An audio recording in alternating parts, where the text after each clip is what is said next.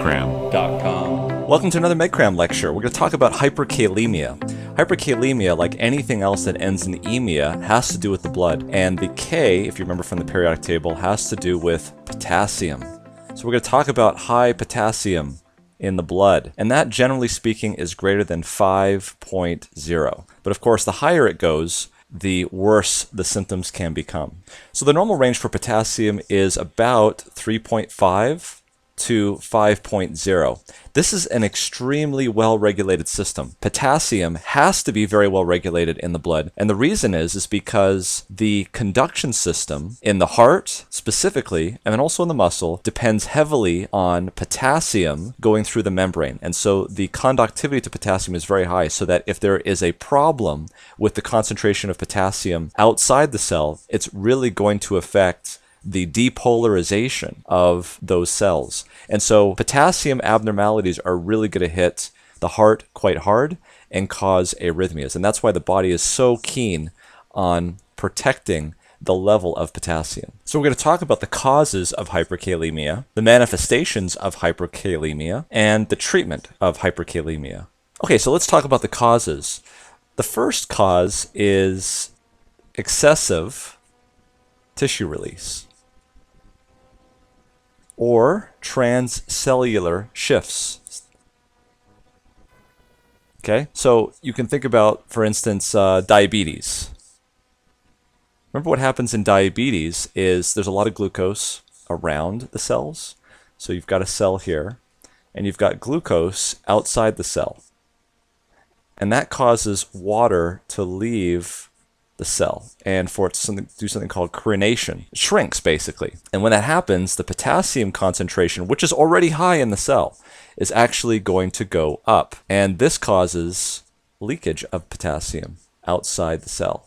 And the fact in diabetes is insulin, which especially in type 1 diabetics is rare, insulin is responsible for putting potassium back inside the cell. Okay, so that's an important note is that insulin causes potassium to shift back into the cell. And in a patient with diabetes, the glucose is high. That causes eventually potassium to leak outside the cell. Since there's no insulin, it cannot be put back inside the cell. Another corollary to this is something called HH, or hyporeninemic hypoaldosteronism. Okay, so that's hyporenin the renin is the thing that is, should be stimulating the adrenal cortex to make aldosterone. But as a fact that it doesn't, you get hypoaldosterone. Now remember, aldosterone works on the distal convoluted tubule. Right about there. And remember what it does, it causes potassium excretion and sodium reabsorption at the distal convoluted tubule. So if you don't have enough aldosterone being secreted from the zona glomerulosa of the adrenal cortex, you're going to get an accumulation of potassium inside the serum. The reason why I bring these up together is this hyporenic hypoaldosteronism can be seen together with diabetes. So that's just one cause of hyperkalemia. The next cause is kind of obvious, and that's just increased intake of potassium. So you got to kind of know what has potassium in it. And some of the things that have potassium in it are salt substitute. So instead of having the cation sodium, that has the cation potassium.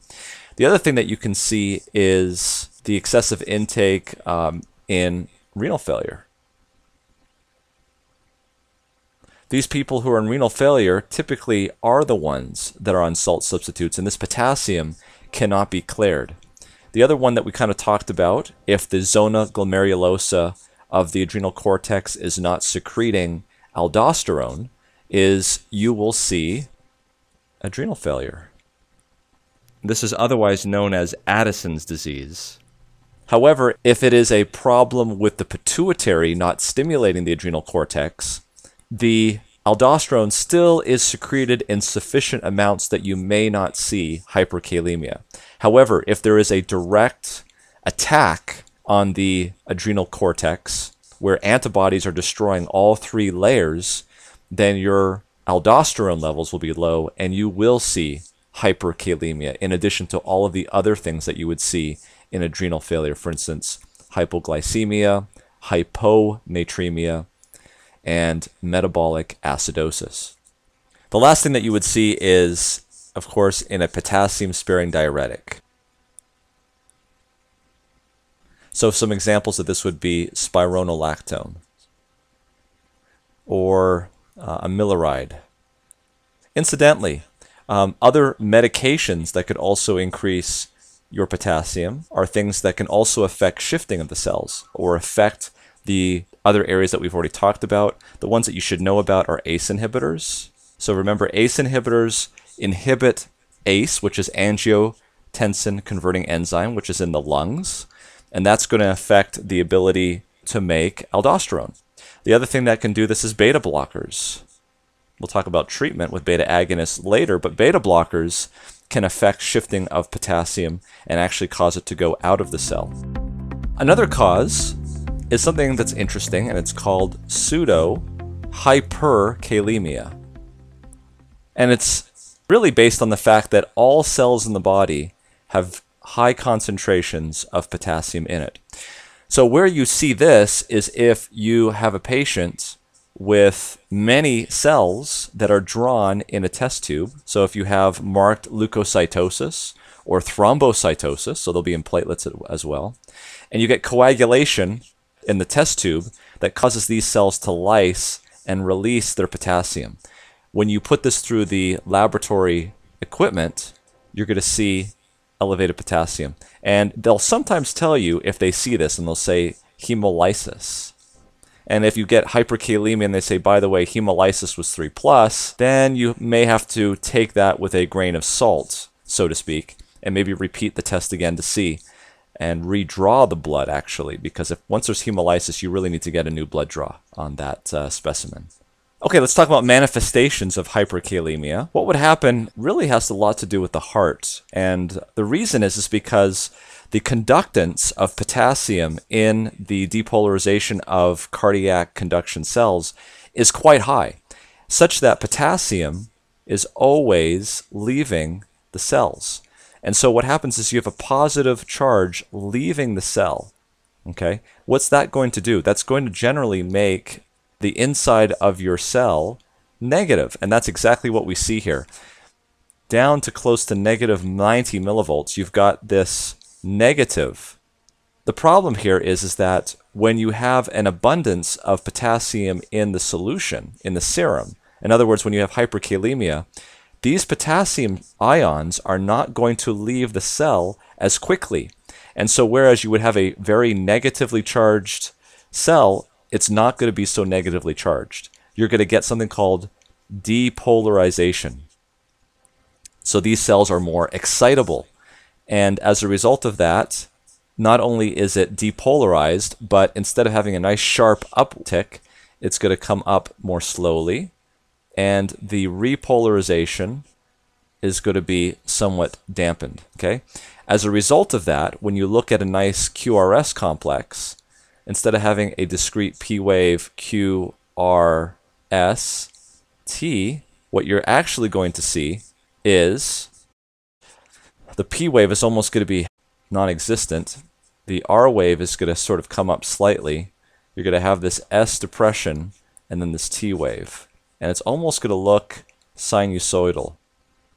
And of course, the higher the potassium and the faster the potassium has gotten high, the more quickly you're going to see this. If somebody is camping out at 5 to 6 and they go up to 7, you're not going to see those changes because the body has a chance to adjust perhaps. But if someone is living in the threes to fours and then jumps up to seven, you're more likely to see that.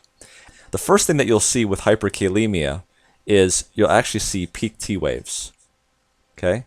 That's the first thing that you'll see. And then eventually you'll just see this thing go sinusoidal. So it'll just kind of go like this and you'll just go into cardiac arrest. So, what should you know about manifestations? You will have depolarization due to low potassium conductance, lower than normal. And then after that, you'll get hyperpolarization due to inactivated sodium channels. You'll have this reduced phase zero velocity, okay? And you'll have decreased membrane excitability, and then you'll get increased potassium conductance and accelerated repolarization. Okay, so what should you know? What, what would they actually test you on a test about hyperkalemia? I think the thing that they would test you on is number one, know that peaked T waves is the first sign that you'll see. Number two, if it eventually gets high enough, you'll get this sinusoidal wave. And number three, hyperkalemia in general is going to affect the heart. And all of this is an emergency. Now, in the next video, we're going to talk about the treatment of hyperkalemia and some of the reasons why this treatment works.